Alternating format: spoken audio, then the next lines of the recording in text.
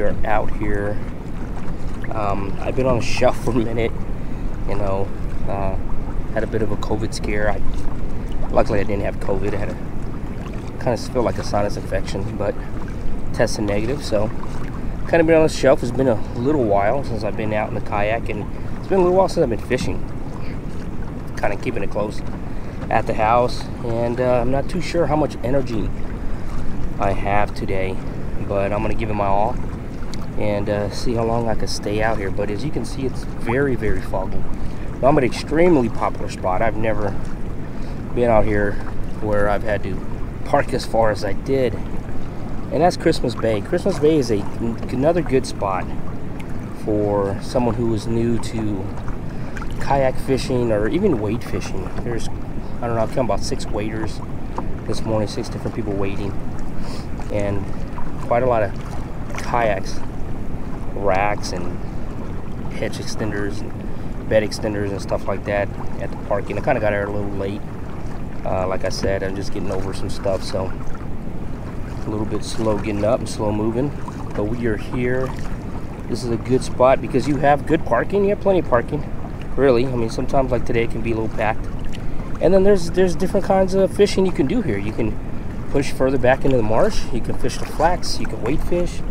There's deeper cut in and Cold Pass where you can, you know, if the, if the tide is out and the water level is low, Cold Pass is pretty deep. Um, Churchill Bayou is pretty deep as well. So we have different different types and different styles of fishing. If they're not in the flats, they might be in the marsh. If they're not be in the marsh, they might be a little deeper. So, and there's always, always uh, the downside is that there always there's always a lot of activity here as far as people go. There's always a lot of boating and a lot of kayaking and a lot of waders. So um, if you're looking to stay away from the crowd, this is not the spot for you. But however, if you don't like fishing by yourself, well, then this is probably a good spot for you too. You can probably meet somebody in case you get in a jam. There's always somebody around that you can holler at and maybe help you out. But hey, thanks for coming back. Don't forget to subscribe to the channel like, comment, all that stuff. And uh, hopefully I'll be able to catch a couple fish today. But like I said, it's really, really foggy. So we're gonna hope for the best. So, I put a tandem gulp on, kind of hoping for a flounder in here. Um, I know it's kind of off flounder season, but there's still flounder around. You still have your residential flounder that just, they're not gonna make it out. They're not gonna go out. They'll just go to deeper water. And Churchill Bayou right behind me, it's kind of, it's kind of deep. It's and you you know you have even deeper water with Cold Pass. So um, wouldn't I wouldn't not put it past of there being um, a couple flounders in here. I'm always you know always had good success catching one or two flounder in here. I thought there might be a flounder in that drain. Looks like a good place for an ambush fish. A fish to ambush. Uh, yeah.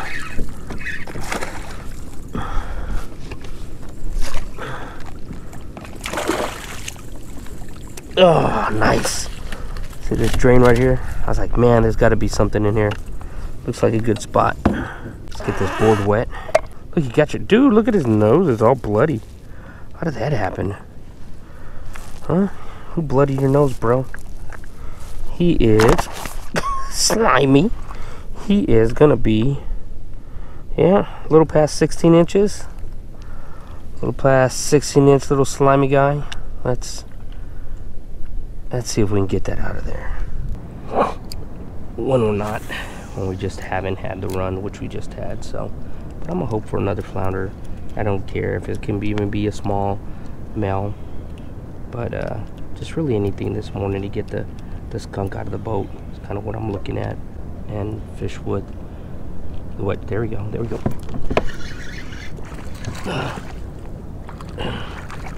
wanted to come out and fish with the wedge tail from Egret Baits, but I want to get the skunk out the boat, and catch at least a couple fish. That's a little croaker. I'm gonna get him off. Uh, I seen something chasing bait over here. I wasn't making too much of a ruckus, but enough to uh, let me know that there was a predator eating on some of the smaller mullets. I thought maybe it'll be a rat red, so I was kind of hoping for and this is probably really going to be the theme of the day. But like I said, you know, you see those oyster reefs? if the tide was, you know, two feet higher, you would never be able to see them. If you've never been here before, or if you never fished this side of the this this area before, you kind of never see them. You might throw right in the middle of them, and you lose your lure, or you may not even realize that there's oysters around and never cast over here. Yours will be under submerged. Have like really really high tide, this will be a key point to come and get them because to come get especially the reds because they're going to push back as far as the bait goes. And I guarantee you, as low as this water is, and I just scared some bait, but as low as this water is and as much bait as there is, even with the low tide, that with a very high tide, there's there's bait all in here. This will be a, a key point, a great place to come back and visit during a very high tide situation. And even at the beginning of the low tide, that's a great drain that this is going to hold fish. So everything's going to be start dumping out. So that's also be a great drain to fish and target while this is still holding water. So we have the Churchill Bayou right there, and it's kind of bleeding into this area. So you got good water movement coming through because if I stop, the wind's coming this way, headwind too. So you have good water movement getting pushed through here. So this should be a good spot right here. You know, you have a couple other drains right here. You have a little drain right here. So there, there should be fish here. And you're fighting against the current. I'd rather fish fighting against the current than fish. Oh, there we go. There we go. There we go. That's a nice flatty. Nice little one. At least. Uh, all right, little guy. Uh, told you. Wanted to get a flatty in here. Uh, he just popped it. Popped it, popped it. Oh my goodness. Second little one of the day. Point I was saying before. Caught that little guy. Let's see if we can get another one here. little juvenile. Probably a small male. We'll get another little male. that one. yep, there we go. We got another little chip. Huh, found them. Found little guys hanging out. Little guys, little chill time. Ladies are all gone. Guys chilling and hanging out. That's funny. Sometimes you can find them stacked up, even if they're little chippers like these guys. Just to find them stacked up a little bit. Let's see if we can shake that guy loose. There he goes.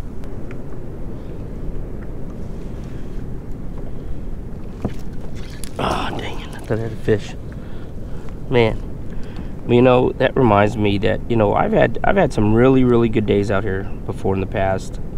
I've had I've had some really outstanding days fishing with you know, it was a nice nice day, nothing nothing like it is right now. About the same time of the year, you know, I think it was a little cooler.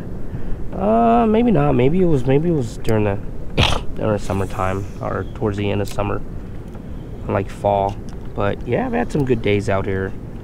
Some really, really, really nice days. I remember one particular, I was trying out some lures from Vortex, uh, and also some chicken boy lures. I had came out one trip just trying to fishing with those, just testing them out, and man, I just that was just fishing Church or Churchill Bayou, yeah, and I had really some really good times throwing that stuff. Gonna give him a little second to wait. There he goes. There he goes. Oh, yep, another flounder. Oh yeah, another good size flounder right here. Easy as possible. Oh man, this is like an identical fish right here. 17. Come on. Come on. There we go, chin up. Got him. Woo. Oh, he is barely at 20 inches. You can see that. It is cutting. Trying to keep him out of my drive. There he goes. Oh, wow. Come on. Don't do that. Don't do that.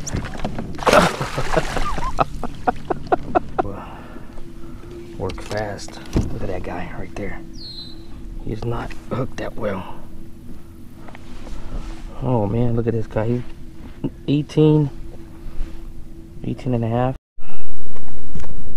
Let's see. There we go. Uh, little flatty. There you go. Little flatty.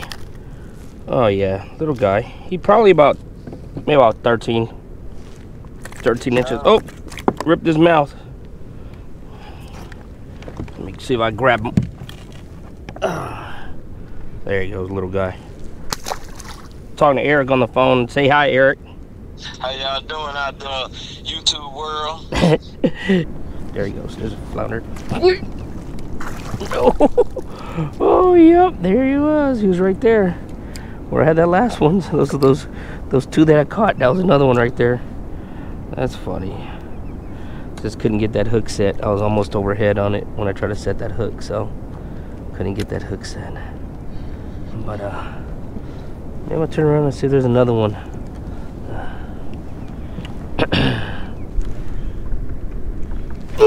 There we go. Oh no, he got off too. Dang it. Dang it, but that was one. Oh man, how did I miss that one? That one felt hook set. That one felt it. I felt that hook set on that one. Golly.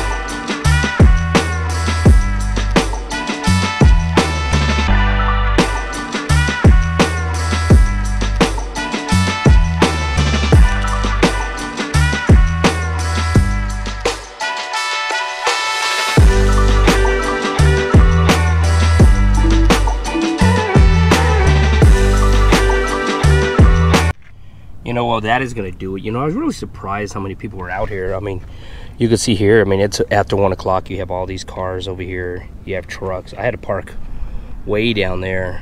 I had to park in the street. And uh it can get pretty crowded out here on the weekends. You know today being thursday i was really surprised that that it was that crowded that it was that crowded just for the simple fact that it's a weekday. But you know it's a also going to be a holiday weekend uh, tomorrow's New Year's Eve, so last soak for me for 2021. It wasn't that impressive, I have to tell you, man. It was kind of lame. You know, I got five flounder, and you know, and I'm on the water, so I can't complain about being on the water. I really can't. Um, as far as hooking up to fish and entertaining you guys, I mean, it's it's it's a lame video. You know, um, caught five little flounder able to bleed in some of my past catch catches here at in uh, Christmas Bay right here on Amigo Lane. You know, so if I had to rate this place for beginners, new kayakers, new wade fishermen, I'd probably give it maybe three and a half stars. I would give it a star for being able to park because even with a lot of people on the water, there's still a lot of parking. Two, the launch is pretty, pretty easy. You know, three, the water isn't isn't bad. It really isn't. Even for as pressured as it gets, you there's still a lot of fish out here. Um, didn't happen for me today, but I've had some really good days out here. And uh, today was just kind of way for everybody. Everybody I spoke to said they weren't really catching anything. Uh, the downside is the amount of traffic that it, the amount of traffic of people that do come out. But again, if you're one of those that don't want to fish by yourself, you kind of eerie, don't want to be caught in the water, something happens when you're, uh, you know, being alone, you're not going to be alone. There's going to be somebody within shouting distance, as you saw today. Um, but the traffic of boats is is a downside to me. Um, don't like lie. I do not like a lot of boat traffic. I do not like a lot of anglers trying to fish in the same spot. It pressures the water a lot. So with the amount of pressure, it's surprised that you can still catch some good fish out here. I do like how diverse you can fish out here. You can fish flats, you can fish deeper channels, deeper guts, Cold Pass, Churchill Bayou. You can fish some of the marsh. You can get back in there. You can push. All, You can push far away from everybody. You really can. Um, you just got to be able to have the time and, and the energy to put the work in. Today, I just didn't. Um, but I do. I do like how it's very diverse and you can fish a lot of different body types of water. So that's one of the reasons why I like Christmas Bay so much. But other than that, you know, I had a good time. I hope you guys had a good time too. There's plenty of places to throw cast net out here as well. So if you're a cast net kind of thrower, you like to fish a live bait, then there's a lot of spots out here where you can toss a cast net. It gets pretty shallow. Whether you're bait fishing or weight fishing or in your kayak or boat, you can always jump out or toss a kayak from your toss the cast net from your boat or possibly from your kayak if you do or if you are well balanced. But yeah, I hope you guys enjoyed this video. I enjoy making I enjoy every single one of you guys. I enjoy every single one of them. I appreciate every single one of you guys. I really, really do. Um, just met a great, great team out here. Father and son out here. Daniel and uh, and Lenny. You know, they were out here fishing as well today. So um, hats off to father and son team. You know, I bring my son off out as often as I can, and um, I know we really enjoy those times. So hats off to you guys. Until next time, hopefully you catch me hooking up. Thanks.